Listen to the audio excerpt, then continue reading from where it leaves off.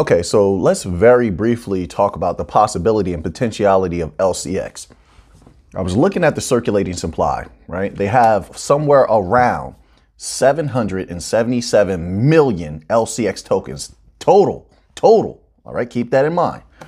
Then I said to myself, wait a minute, wait a minute. That's very close to what Celo has. Celo has around, I'm, I'm just giving you a roundabout number, around 500 million circulating supply. Now, if you remember way back in the beginning when we first started talking about Celo was at a low, remember it exploded to like $8 or something like that, $9.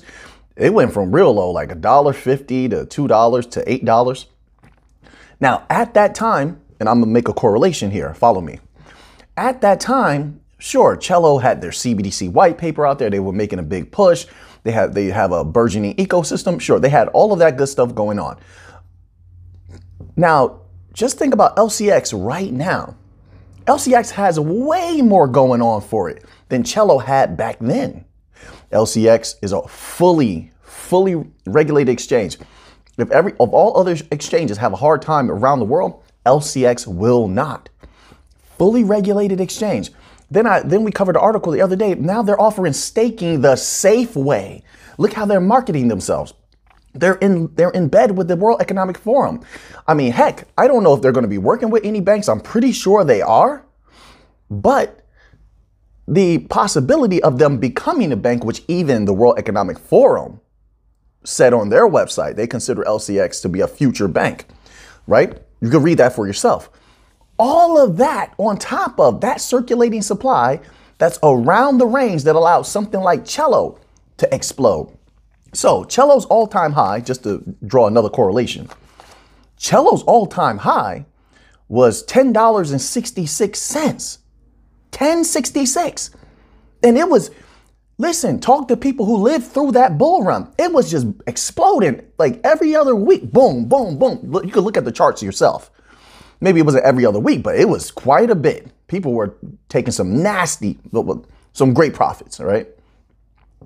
Now, with all that LCX is doing in a 777 million circulating supply, there's no way you can't tell me it can at least scrape $8 in the future in some future bull run.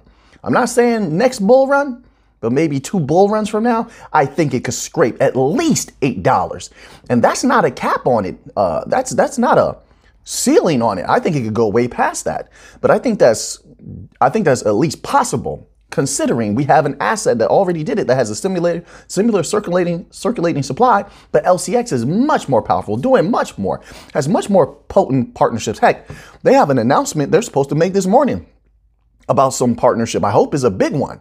If you go to LCX's YouTube channel, they have the video up there so you can like uh, set a reminder for it uh, before they actually release the announcement. I'm hoping that it's a massive announcement since they're going to put it on their YouTube channel. Um, so you have all that potentiality. I think that when they streamline their exchange on both ends of it, I think a ton of people are going to be staking there because you can you have the safe perfectly safe.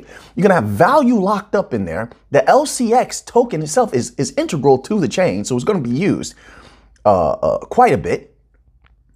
I mean, there's so much payroll is going to roll through there. I mean, this this LCX token has a world of potential. So I'm going to say that I do believe firmly it can reach $8, and that's not its limit.